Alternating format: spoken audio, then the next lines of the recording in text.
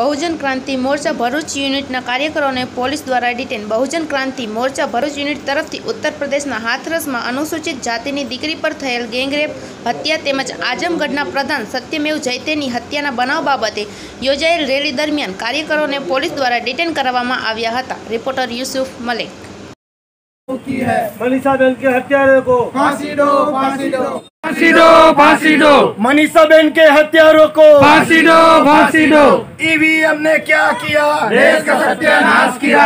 EVM ने क्या किया? देश का सत्यानाश किया। ईवीएम हटाओ। देश बचाओ। ईवीएम हटाओ। देश बचाओ। किसान विरोधी ये सरकार। नहीं चलेगी नहीं चलेगी। किसान विरोधी ये सरकार। नहीं चलेगी नहीं चलेगी। ये आज़ादी झूठी है। देश की जनता भूखी है। ये आज़ादी झूठी है। देश की जनता भूखी है। मनीषा बेन के हथियारों को। फांसी दो फांसी दो।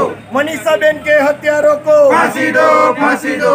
देवजी भाई के हथियारों को। फांसी दो फांसी दो।